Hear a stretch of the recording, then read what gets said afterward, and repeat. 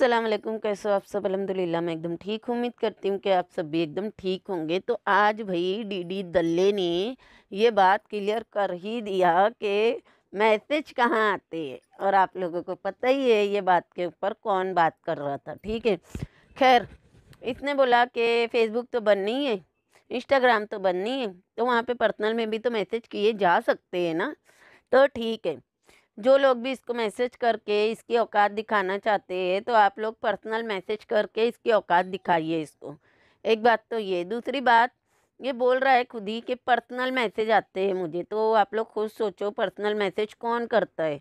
जो इसकी धगड़नियाँ है, वही लोग करते होंगे जो इसके कांटेक्ट में है जो लोग इसको मतलब फॉलो कर रहे हैं, चाहते हैं कि उनसे भी ये शादी करे तो इसके लिए वो लोग करते होंगे। बाकी ऑडियंस तो पर्सनल में जाएँगी नहीं, ज़ाहिर सी बात है। ऑडियंस को अपना प्यार और अपना गुस्सा है ना ऑडियंस के जो बीच में कमेंट रहते हैं ना, उधर दिखाना होता है। पर्सनल में जाके उनको क्या करना है मैसेज करके? और एक बात के, जब ये इतना ही अगर बोल रहा है कि वहाँ सब जगह तो आप लोग मैसेज कर रहे हो, वहाँ तो मैसेज आते हैं। तो जब तुम्हें वहाँ के मैसेज नज़र आते हैं, वहाँ पे मैसेज आने से कोई प्रॉब्लम नहीं है तो फिर यहाँ पे क्यों तुमने मैसेज ऑफ़ करके रखा है? कमेंट ऑफ़ करके रखा है। यहाँ के भी कमेंट ऑन करो ना तो तुम्हें तुम्हारी औकात दिखाएँगी ऑडियंस फिर डिलीट करना, फिर हम देखेंगे पहले के कमेंट और अभी के कमेंट में कितना फ़र्क होता है। तो ये तुम्हारी औकात है, जो तुम खुद आके है ना ज़ाहिर कर रहे हो कि तुम्हारी ये औकात है कि डर के मारे तुमने कमेंट ऑफ़ करके रखे है। ऑन करो कमेंट फिर तुम्हें तुम्हारी औकात दिखेंगी। जो तुम लोग बोलते हैं ना नाइन्टी परसेंट तो हमारे फेवर में है तो वो नाइन्टी परसेंट है ना, तुम्हें दिखाएँगे कि तुम्हारे कितने फेवर में बेशरम कहीं का।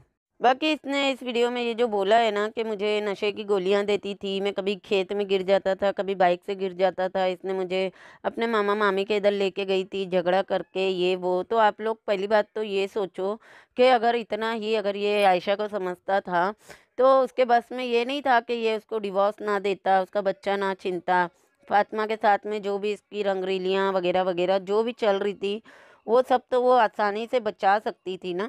लेकिन उसने तो ऐसा कुछ भी नहीं की और उसने अपनी लाइफ नहीं बचाई, अपनी शादीशुदा घर नहीं बचा पाई। क्यों? क्योंकि उसकी नहीं चलती थी। दूसरी बात, ये गोली वाली बात मैं आप लोगों को बताती हूँ और इसके मामू के इधर जाने वाली भी बात बताती हूँ। ये है ना इतना ज़्यादा नशा करता था, इतना ज़्यादा नशा करता था, मैंने आप लोगों के साथ में इसकी पिक्चर भी शेयर की थी उन टाइम की। ये शराब की गिलास इसके हाथ में है, कैमरे के सामने बैठ के इसने पिक्चर क्लिक किया है और वो मैंने लगाई थी अपने वीडियो में भी। और अगर आप लोग बोलोगे ना तो मैं वो पिक्चर फिर से लगा दूँगी कम्युनिटी पर तो आप लोग देख लेना। तो ये बहुत पुराना नशेड़ी आदमी है और ये नशा करके ना आयशा के ऊपर तो चलो जुल्म करता ही करता था, ये नैना के ऊपर भी करता था, अपनी माँ पे भी करता था, यहाँ तक के ये घर के बच्चे हैं ना, उनको भी हरास करने की कोशिश करता था, अली के ऊपर भी इतने एंड एंड में ना अली को भी मतलब इस तरह से करने की कोशिश किया कि मैं इसको बेच दूँगा, मैं इसको मार दूँगा, इस तरह से ना ये सबको घर में डरा के, धमका के रखता था, जिसकी वजह से इसका और इसके बाप का भी अच्छा खासा झगड़ा हुआ था, और ये बात को रुबीना ने भी एक बार रिपीट की थी कि इन लोग में से इसको कोई भी नहीं समझता था। रुबीना को रुबीना को ये लोग आ, मतलब डीडी दल्ला रुबीना के ऊपर हाथ उठाता था गंदी गंदी गालियाँ देता था जिस वजह से इनके घर में बहुत ज़्यादा कलेश रहता था। और ज़्यादातर इल्ज़ाम रुबीना और इसका बाप है ना आयशा पे ही लगाते थे कि आयशा ये सब करती है या आ, उसके साथ में करता भी है ना तो चलो करते रहो लेकिन हमारे साथ ना करो चलो अपने पति को लो अपने हस्बैंड को लो और निकलो घर से क्योंकि ये हमारे साथ जो करता है ना तो हम तो नहीं बर्दाश्त करेंगे। वो वजह से लोग घर छोड़ के गए थे।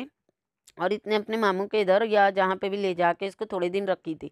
वहाँ जाने के बाद में भी ये बंदा बिल्कुल भी नहीं मानता था। जो इसने बोला है ना कि मुझे कभी कहाँ से, कभी खेत से उठा उठा के लोग लेके आते थे तो ये इतना ज़्यादा नशा करता था कि ये कभी खेत में, कभी गटर में, कभी इधर उधर सब जगह पर ये पी के और फुल नशे में पड़ा रहता था। फिर ये लोग पूरा गाँव ढूँढने निकलते थे और जहाँ पर भी ये जो भी गटर में मिलता था ना, वहाँ से इसको उठा के लेके आते थे। और ये बात मैंने आप लोगों को पहले भी बताई थी, तकरीबन मुझे लगता है एक साल हो गया ये बात को जब इसने शुरू में जब आयशा के ऊपर रिएक्शन दिया था ना, तब मैंने वीडियो बनाई थी तो मैंने उसके अंदर ये सारी बातें क्लियर की थी कि ये आदमी इतना ज़्यादा नशेड़ी, इतना ज़्यादा नशेड़ी है शुरू से कि ये है ना पी के इधर उधर पड़े रहता था और लोग इसको उठा उठा के लेके आते थे। तो ये गोली का ये सब ये अब क्यों बोल रहा है? क्योंकि इसको पता है ना कि अब आयशा आई है मैदान में, आयशा अब इसकी पोल पट्टियाँ खोलेंगी तो इसके लिए ये वो चीज़ को ना घुमा रहा है। अब आयशा बताएँगी कि ये गोलियाँ खा के और शराब वगैरह पी के यहाँ पड़े रहता था, हम लोग इसको उठा उठा के लाते थे। तो वो बताए, उससे पहले ही इसने सोचा कि मैं इस तरह की कहानी बना देता हूँ कि आयशा मुझे गोलियाँ देती थी, नशे की गोलियाँ देती थी। तो ये सारा देखो, इसको कितना दिमाग है, कितना ये शातिर आदमी है, कैसे ये दिमाग लगा के अपनी आने वाली गंदगी के ऊपर कैसे पर्दा लगा के दूसरे के ऊपर वो गंदगी डालने की कोशिश कर रहे हैं। सोचो कितना घटिया आदमी है और ये सारी बातें, ये जो बोल रहा है, इन बातों में से बहुत सारी बातें है ना आयशा ने मेरे ख्याल से एक डेढ़ साल पहले ही बता चुकी है कि ये इतने नशे में रहता था कि हर किसी के ऊपर घर में हाथापाई करता था, उनको गालियाँ देता था और आप लोग यकीन नहीं करोगे, ये आयशा के सामने बोलता था कि मैं इसके साथ सोने जा रहा हूँ मैं उसके साथ जा रहा हूँ मेरी ये गर्लफ्रेंड है मेरी ये है वो है और ये उल्टा जैसे ये अभी सनिया के घर में बैठा हुआ है ना घर दामाद बन के तो इसको ऐसा ही ससुराल चाहिए था कि इसको रखे इसकी बीवी को भी पाले इसको भी पाले और इसको नशा करने के लिए पैसा भी दे। आप लोग खुद सोचो अगर ये अच्छा आदमी होता तो आ, कौन औरत ऐसा चाहेंगी कि भाई मेरा आदमी दिन रात नशे में रहे काम धंधा ना करे बच्चे को ना देखे और मैं रंगरीलियाँ मनाऊँ। तो फिर उसका घर कैसे चलेगा? तो ये कितनी फेक कहानियाँ बना रहा है, आप लोग खुद सोचो कि कोई भी औरत इतनी घटिया नहीं हो सकती है। हाँ अपनी कहानी को छुपाने के लिए ये एक नई कहानी बना रहा है, ये तो आप लोग को भी समझ आ रही होगी। जो कहानी भी कितनी अजीब बना रहा है कि यकीन करने वाला भी यकीन ना करे कि इसका कोई दरवाजे बनाने वाले से अफेयर था, ठीक है? और उसके साथ मिलके इसने पिस्तौल ली इसको गोली मारने की भी कोशिश की और इसको जान से मारने की भी कोशिश की। इसको सारा कुछ पता था, फिर भी इसने क्या सोचा? नहीं नहीं, मुझे ना मेरे बच्चे की ज़िंदगी ज़्यादा अजीम है। मैं नहीं चाहता कि वो यतीम हो जाए। अबे, जब तुझे वो मारना ही चाहती थी तो तू तो बच्चा तो वैसे ही यतीम हो जाना था। और तू इतना सीधा, इतना भोला कि तुझे जान से मारना चाहती थी तो फिर भी निभा रहा था और तेरी असलियत है ना, सारी वाइटी को पता है। कौन से मुँह से तू ये फेक फेक कहानियाँ बना रहा है? हाँ? उस, वो भाग गई थी, उसका अफेयर था, वो तुझे मारना चाहती थी। ये सारी बातें तो तेरे ऊपर लागू हो रही है, और वो भी प्रूफ के साथ कि तेरा अफेयर सनिया के साथ था। तू उसके घर पे भाग गया है। तू उन्हें मारना चाहता था, आसिम को, जो कि तुम लोगों ने मार भी दिए, है ना? और रही बात के सोने की चैन, सोने की चैन। अरे, थोड़ी सी ना शर्म कर ले। सोने की चैन, ये सब है ना, सारी करतूतें तेरी है। तुम लोगों ने, है ना, लड़कियों को लूटे, उनके सोना, उनका गोल्ड और सिल्वर, पैसा, ये सब तुम लोगों ने लूटे और फिर उन लड़कियों को तुमने बेच दिए। और तू आयशा के ऊपर इल्ज़ाम लगा रहा है, अगर इतनी वो कैरेक्टर की बुरी होती ना तो पिटारा की तरह उसके भी यार निकल के आते, जो कि आज तक के नहीं आए लेकिन तेरे इतने ज़्यादा गंद और अफेयर निकल निकल के आए हैं कौन से मुँह से तू बोल रहा है कि वो ये सब बातों को ठुकरा नहीं सकती है? मैं बहुत बड़ा सच्चा हूँ। तेरे से बड़ा झूठा ना, पूरी वाइटी पे कोई नहीं बल्कि जब फातिमा के साथ में इसका टाका अच्छे से भिड़ गया था ना, उसके बाद में इसने कितनी बार अटैक किया था आयशा के ऊपर ताकि उसको जान से ये मार सके। लेकिन इसने इस तरह से गेम खेला था ना कि मैं उसको मार भी दूँ और मेरे पे नाम भी ना आए। और इस बात के लिए आप लोगों को याद होगा इसने खुद ने ये कहानी बताया था कि ये मेरे घर में मरना चाहती थी। मैंने बोला कि यहाँ पे मत मर, अपने बाप के इधर जाके मर, याद है? तो इसने उसको इस मकाम तक के लेके आया था कि वो अपनी जान खुद से देने की फिर कोशिश करने लग गई थी। और ये क्या बातें कर रहा है? पूरी उल्टी बातें कर रहा है। जो कहानी इसकी है ना, ये आयशा के ऊपर घुमा रहा है। लख लानत है तेरे ऊपर, आदमी जात के नाम पे तू धब्बा है।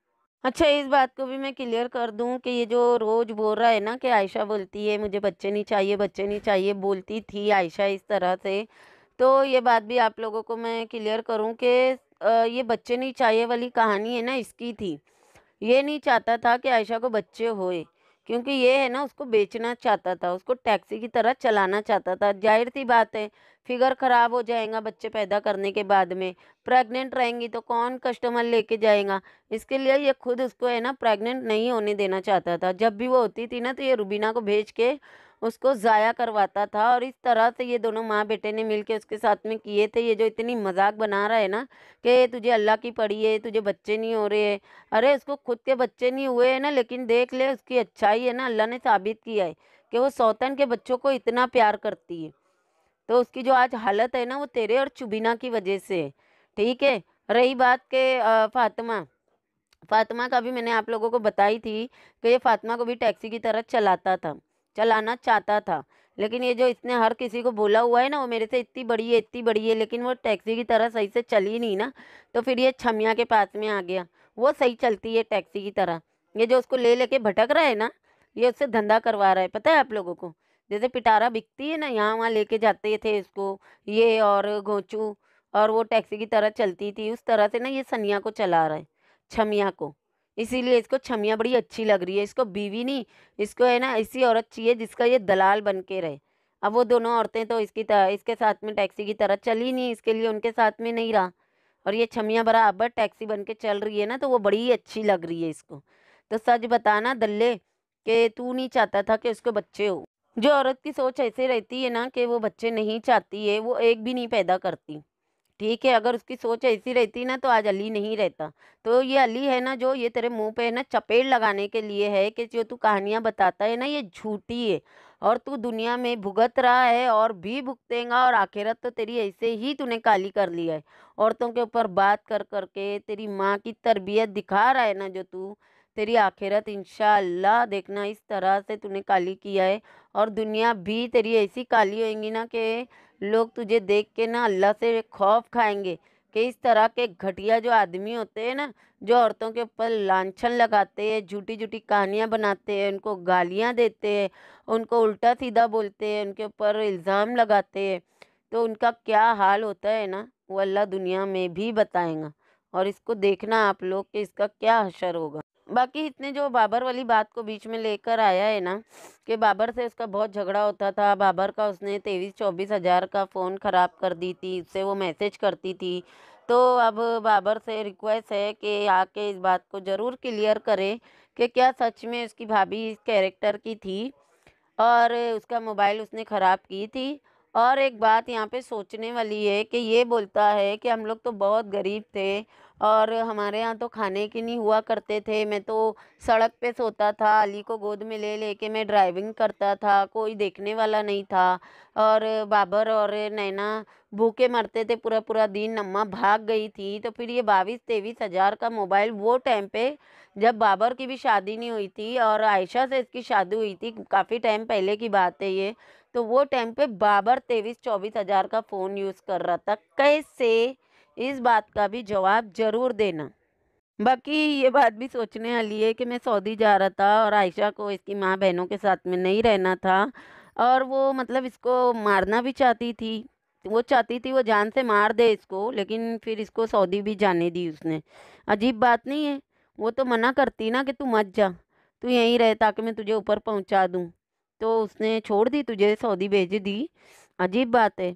बाकी इतनी लोगों के अंदर गरीबी थी, फिर भी सऊदी जाने के लिए पैसा था इनके पास ना।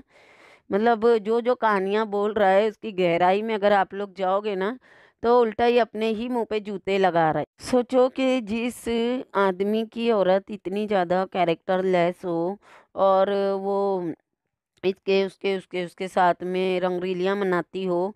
वैसा आदमी क्या कभी अपनी बीवी को छोड़ के बाहर देश जाएगा काम करने के लिए? आप लोग कमेंट में ज़रूर बताना। जो आदमी अपनी बीवी के ऊपर शक करता हो, उसका इतना सारा अफेयर हो, उसका कैरेक्टर इतना गंदा हो तो वो आदमी कभी भी अपनी बीवी को अकेले छोड़ेगा ही नहीं। यहीं से पता चल जाता है कि तेरी कहानियाँ झूठी है कैरेक्टर लेस तो खुद था, तभी तो सऊदी जाके तूने अपना औकात भी दिखाया था कि कैरेक्टर लेस तो वो थी ही नहीं। है ना? अगर वो कैरेक्टर लेस होती तो तेरे सऊदी जाने के बाद में फ़ौरन भाग जाती वो। लेकिन वो तो नहीं भागी थी, वो तो बैठी हुई थी तेरे घर में। तू वहाँ से आया, उसको टॉर्चर किया, उसको मारा, सारा कुछ किया, जब उसने अपनी जान देने की कोशिश की, फिर तूने सबको जमा किया, फिर तूने उसको डिवोर्स की धमकियाँ दिया, उसको खूब मार तोड़ करके घर से निकाला, फिर वो रिटर्न आके बैठ गई, दो दिन इधर उधर छुप के रही, फिर वो आके तेरे घर में बैठ गई, फिर तूने उसको डिवोर्स दे दिया। ये थी रियल कहानी। बाकी आप लोग ये भी सोचो कि जैसे ये बता रहा है, जितना गंदा ये आदमी है, जैसे ये अपनी बीवियों को टैक्सी बनाता है तो आप लोग सोचो कि अगर ऐसा, ऐसी थी कि लोगों का गोल्ड लेती थी, चैन लेती थी, लोगों से पैसे ऐंठती थी तो वो करती क्या थी उन पैसों का? अगर औरत किसी भी तरह से कमा रही हो ना तो वो लगाएँगी अपनी ही फैमिली पे, जैसे अपने हस्बैंड पे, अपने बच्चों पे, अपने घर के अखराजात पे ही लगाएँगी ना तो मतलब समझ नहीं आया मेरे को कि वो इतना लूट भी रही थी और उसके बाद में उसको रहने के लिए घर भी नहीं था, है ना? वो जाके कभी मामा के घर पे तो कभी बहन के घर पे रही, अगर इतने ही पैसे थे, इतने ही उसके यार थे तो उसका तो खुद का घर होना चाहिए था जहाँ पे वो जाके रह सकती थी, लेकिन नहीं, वो कभी इसके दरवाजे, कभी उसके दरवाजे पड़ी रही। और इतना ही ज़्यादा अगर वो मर्दों को लूटती थी तो इसको सऊदी जाने की क्यों नौबत आई ये सारी बातें सोचने वाली है तो डीडी दल्ले। पहले है ना अपने गिरबान में झाँक, फिर उसके ऊपर उंगली उठा।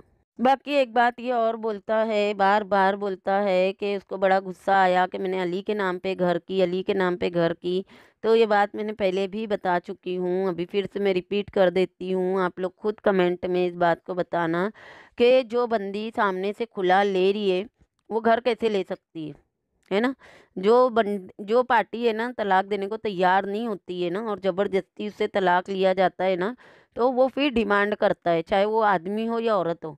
अगर औरत नहीं चाहती है कि डिवोर्स हो उसका, फिर भी आदमी हर हालत में देना चाहता है। फिर वो उसको है ना इस तरह से उसकी डिमांड पूरी करता है, क्या मैं तुझे घर दूँगा, या मैं तेरे बेटे के नाम पे घर करवाऊँगा, मैं तुझे इतने इतने लाख दूँगा तो प्लीज़ मेरी जान छोड़ दे। तो ये होता है हमेशा, ना कि ये होता है कि डिवोर्स भी वो ले रही है और घर के डिमांड भी वो कर रही है। ना देता डिवोर्स और ना करता डिमांड बोलता उसको आके रहे, कर लेता दूसरी शादी, कैसे नहीं रहती? नहीं देना पड़ता इसको कुछ भी। लेकिन यहाँ पे ना ये झूठी कहानियाँ बनाता है और इतना तो दिमाग हर किसी के पास में है कि जब औरत खुला लेती है ना तो वो डिमांड नहीं कर सकती है और ना उसकी डिमांड पूरी करना आदमी का आ, कानूनी हक भी नहीं बनता है और शरीयत के हिसाब से भी मुझे नहीं लगता बनता है। बस इसकी ना आदत है औरतों को गंदा करने की चाहे फिर वो इसकी बीवी हो इसकी माँ हो इसकी बहन हो या कोई भी गैर औरत हो बस इसकी तरबियत इस तरह से हुई है ना कि ये औरत जात की इज़्ज़त करना नहीं जानता है। और जब ये अपनी दो बीवी की इज़्ज़त नहीं किया तो ये तीसरी छमिया की क्या करेगा? और जो आदमी अपनी माँ की इज़्ज़त नहीं किया वो अपनी बेटी की क्या करेगा? जो अपनी बहन की इज़्ज़त नहीं किया, वो अपनी बेटी की क्या करेगा? बहन के है ना इस तरह के ये रहते हैं कि उसके अंदर हम अपनी बेटी को देखते हैं, ठीक है, जो छोटी बहनें होती है। लेकिन इसने तो अपनी बहन के कैरेक्टर पे भी इतनी बात किया है तो सोचो ये कल को अपनी बेटियों पे भी बात कर सकता है।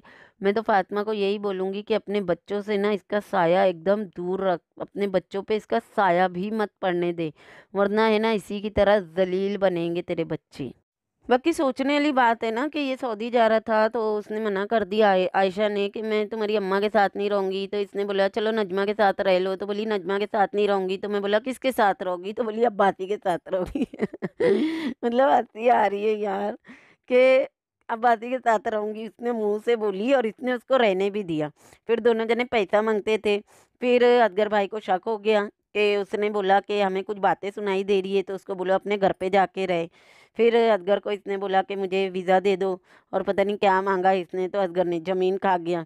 अरे सच्चाई बोलना सच्चाई बोल बेशरम कि तूने नशा कर, करके कर, करके वो ज़मीन खुद ने डुबा दिया, ठीक है? बाकी ये नज्जों के घर रह रही थी और तेरी माँ के साथ रहती थी। खैर, तेरी माँ तो भगोड़न भाग गई थी वो यहीं पे रहती थी और फिर नज्जो के पास रहती थी और अपनी मामी के पास रहती थी, जब तेरी चुड़ैल माँ उसको भगा देती थी मार तोड़ के। तो ज़रा झूठ तो है ना, तू कम बोलते तेरा तो मैं बोलती हूँ ना, ऐसा असर हो, ऐसा हशर होगा ना कि जानवर भी है ना मैं बोलती हूँ खूबसूरत होंगे जानवर से भी ज़्यादा बदतर तेरा मुँह बनेगा देखना और दुनिया देखेंगे। बाकी देखो आप लोग दो साल से देख ही रहे हो इसको इसके पास में कोई कंटेंट वगैरह तो रहता नहीं है ये कभी नज्जों को तो कभी किसको तो कभी किसको पकड़ पकड़ के बस रिएक्शन देते रहता है और इसी तरह से ना इसके चैनल चलता है इसको आ, वीडियो पे व्यूज़ इसी तरह से आते हैं। रोज़ आप लोग को मेरी बात पे यकीन नहीं आप जाओ इसका चैनल चेक करो। रोज़ कंट्रोवर्सी वाले थंबनेल और टाइटल और जिस दिन कंट्रोवर्सी वाले नहीं रहते ना इसको व्यूज़ नहीं आते, इसके लिए ये जानबूझ के करता है और लोग जाते भी है देखने। तो आप लोग मत देखो इसको, अगर देखना ही है तो आप लोग मुझे कमेंट कर दिया करो, मैं डाल दूँगी वीडियो। एफ़ पे आप लोग वहाँ जाके देख लिया करो, लेकिन इसको व्यूज़ मत दो, तभी जाके ना, ये गटर जैसा इसका मुँह है ना, ये बंद होगा। औरतों के लिए जो ये इतनी गंदी बातें करता है ना, तभी इसका मुँह बंद हो सकता है, इसके अलावा कोई रास्ता नहीं है। क्योंकि इसको पता है कि यही सारी चीज़ों के वजह से ही इसका चैनल चल रहा है, बाकी छमिया तुझे मैं, है ना, लिख के दूँ? या वादा तू मेरा, है ना, तेरे पास लिख के रख ले कि तेरा नंबर भी आएगा। ठीक है, तू आएँगी, इसकी सच्चाई बताएँगी और ये तू लिख के रख ले। तू भी बताएँगी, तेरी बहन भी बताएँगी और ये तेरे साथ में भी वही करेगा जो इसने अपनी दो बीवियों के साथ किया और जितनी औरतों के साथ किया ना, तेरे साथ भी करेगा। तू बनेगी इंसाफ बीबी पार्ट टू। पहली है फातिमा, दूसरी बनेगी तू। ठीक है? लिख के रख ले। चले फिर इस वीडियो को मैं यहीं पे एंड करती हूँ। वीडियो कैसी लगी कमेंट में ज़रूर बताना। वीडियो पसंद आएँगी तो लाइक शेयर और सब्सक्राइब भी कर देना। मिलते हैं नेक्स्ट वीडियो में। अल्लाह हाफिज़।